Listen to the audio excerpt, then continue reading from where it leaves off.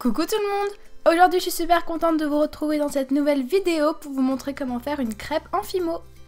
Pour le matériel, vous aurez besoin de pastel sec pour faire l'effet cuit, de coulis fimo, donc euh, les miens ce sont des coulis fimo dur plus fimo liquide, d'un rouleau, d'un emporte-pièce rond, de fimo couleur pâte à gâteau, voilà.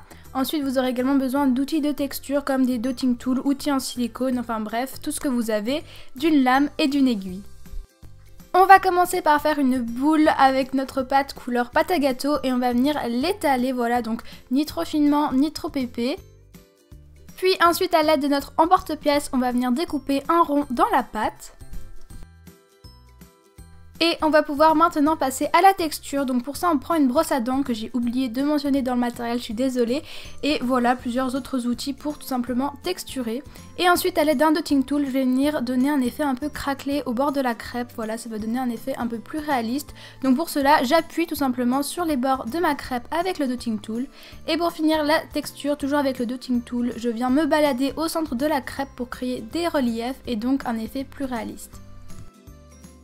On va maintenant passer à l'effet cuit et pour ça je prends un pinceau et un peu de pastel ocre que je vais venir appliquer partout sur ma crêpe. Puis je vais venir faire exactement la même chose avec un pastel terre de scène brûlée, sauf que je vais l'appliquer en plus petite touche, voilà, parce qu'on veut pas donner un effet cramé à notre crêpe quand même.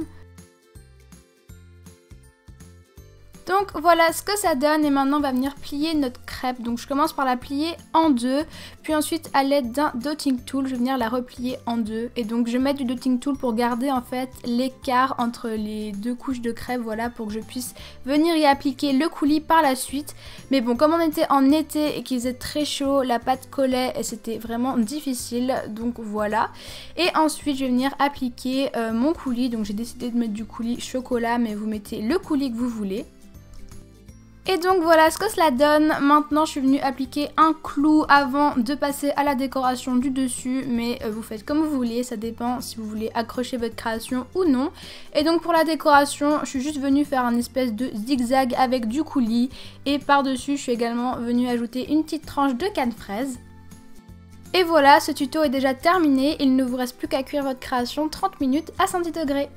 Donc voilà, c'est la fin de cette vidéo, j'espère vraiment qu'elle vous aura plu. N'hésitez pas à reposter vos photos sur Instagram avec le hashtag ZOBSERVE. Sur ce, moi je vous fais plein de gros bisous et je vous dis à la prochaine. Bye